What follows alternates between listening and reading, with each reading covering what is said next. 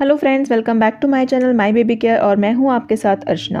Friends breast sagging यानी breast का लटकना महिलाओं में होने वाली एक आम प्रॉब्लम है। ये किसी भी एज में और किसी भी रीज़न की वजह से हो सकती है। तो आज के इस वीडियो में हम यही बात करेंगे कि अगर आप ब्रेस्ट सैगिंग से जूझ रही हैं तो आपको क्या करना चाहिए? तो चलिए स्टार्ट करते हैं आज का वीडियो सबसे पहले ये बात करते हैं कि ब्रेस्ट सेगिंग का मतलब क्या है। देखिए ब्रेस्ट में एक तरह का लिगामेंट होता है, जिसे हम कूपर लिगामेंट बोलते हैं, जो कि ब्रेस्ट को एक जगह फिक्स रखता है। लेकिन जब ये लिगामेंट लूज होने लगता है तो ब्रेस्ट फिक्स न रहकर लटक जाते हैं। इसे ही ब्रेस्ट सेकिंग कहते हैं। ज़्यादातर महिलाओं में ये प्रॉब्लम देखने को मिलती है। देखिए, महिलाओं में यानी कि लेडीज़ में ब्रेस्ट सेकिंग होने के बहुत से रीजंस हो सकते हैं। तो आइए पहले जानते हैं कि वो रीजंस क्या हैं। ब्रेस्ट सेगिंग का सबसे मेन रीज़न होता है ब्रेस्ट फीडिंग कराना, यानी कि बच्चे को दूध पिलाना। ब्रेस्ट फीडिंग कराने से ब्रेस्ट के फैट सेल्स सुकड़ने लगते हैं और जिस वजह से ब्रेस्ट में ढीलापन आ जाता है। इसीलिए जो महिलाएँ ब्रेस्ट फ़ीड कराती हैं, अपने बच्चे को दूध पिलाती हैं, उन्हें एक्सरसाइज पर ज़रूर ध्यान देना चाहिए।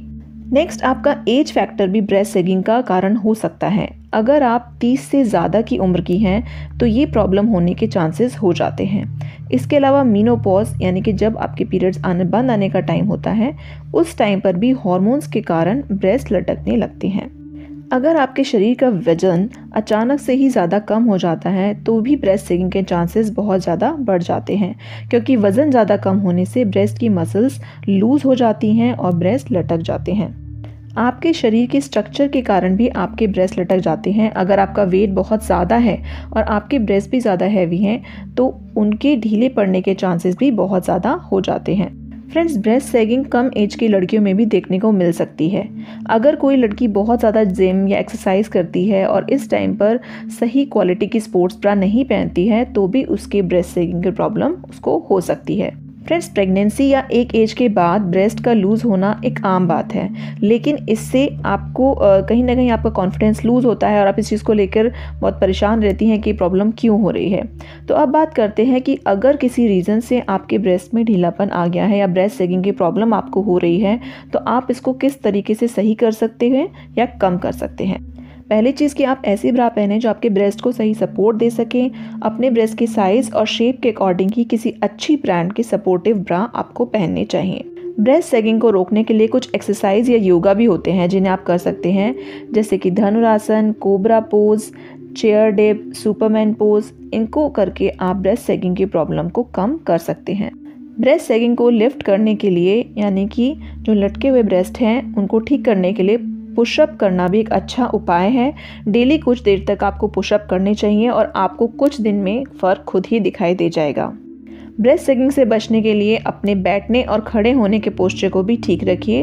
हमेशा बैकबोन सीधी रखकर बैठें या फिर खड़े हों। ब्रेस्ट फीडिंग के टाइम पर यानी कि जब आप अपने बच्चे को दूध पिला रहे हैं और आपको ये फील हो रहा है कि आपके ब्रेस्ट लूज़ हो रहे हैं तो ये ध्यान रखें कि आपका बेबी जब भी दूध पिए तो आपके ब्रेस्ट को वो साइड से पकड़े, ना कि नीचे से।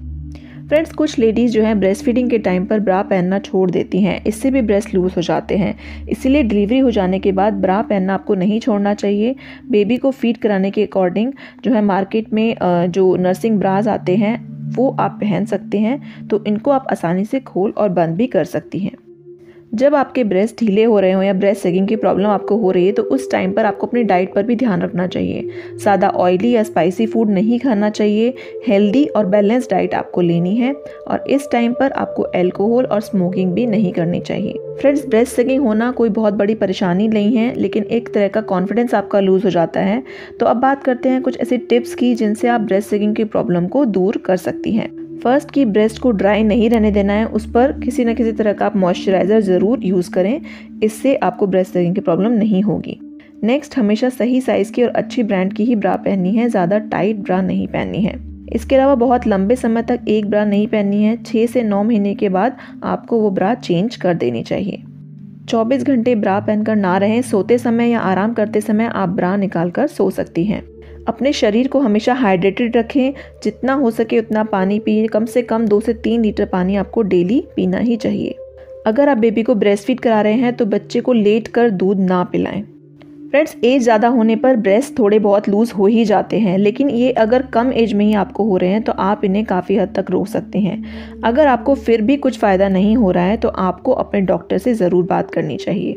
तो फ्रेंड्स यही था हमारा आज का वीडियो आई होप आप समझ पाए होंगे कि ब्रेस्ट सेकिंग क्या है, ये क्यों होती है और आप किस तरीके से इसको कम कर सकते हैं. तो आई होप आपके लिए वीडियो हेल्पफुल रहा होगा. हम आगे भी आपके लिए ऐसे ही वीडियोज़ लाते रहेंगे. Thank you